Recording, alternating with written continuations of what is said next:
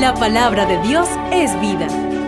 Ilumina nuestro corazón y alimenta el alma. Radio Natividad presenta el Evangelio de hoy.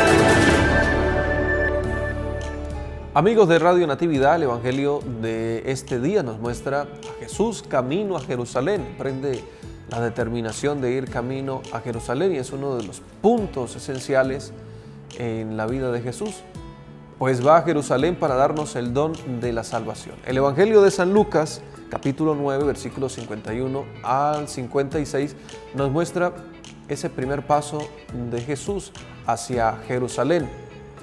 Pero en este camino a Jerusalén, eh, como narra el Evangelio, envía algunos mensajeros por delante a preparar el camino, a, a anunciar que venía Jesús, a preparar su llegada, los discípulos que también van anunciando la llegada del reino de Dios. Y van a una aldea de Samaria, pero los samaritanos no querían recibirlo. Esta es una de las características que debemos reflexionar en nuestra vida cristiana sobre la aceptación de, de Jesús, del don de la salvación que nos da. Y a veces nosotros nos cerramos con esta negación de los samaritanos podemos vernos también nosotros, cuán disponible, cuán está disponible nuestro corazón para recibir la salvación, el don de la salvación. Porque Jesús va a Jerusalén para darnos la salvación, el don de la paz, para mostrar plenamente su misericordia al morir en la cruz y luego con su resurrección. Y estos samaritanos se negaron a recibir a Jesús. Hoy, ¿cómo nos estamos negando también nosotros a recibir este don del Señor?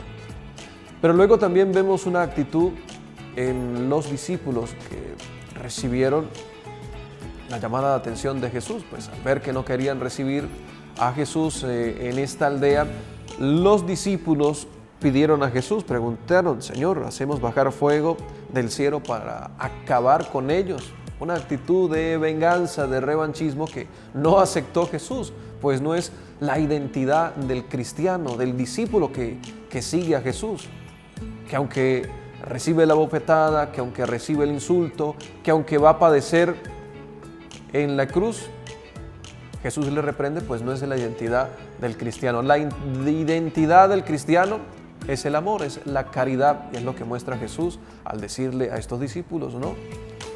Emprende nuevamente su viaje, continúa su viaje hacia Jerusalén, anunciando el reino de Dios. Esto nos enseña que a pesar de las dificultades y de las adversidades, Jesús nos invita a anunciar el Evangelio. Pero tengamos cuidado de abrir nuestro corazón plenamente para escucharlo también. Que el Espíritu de Dios nos ayude a escuchar el Evangelio, a colocarlo en práctica, a vivirlo en la práctica especialmente de la caridad. Que Dios les bendiga en el nombre del Padre y del Hijo y del Espíritu Santo. Amén.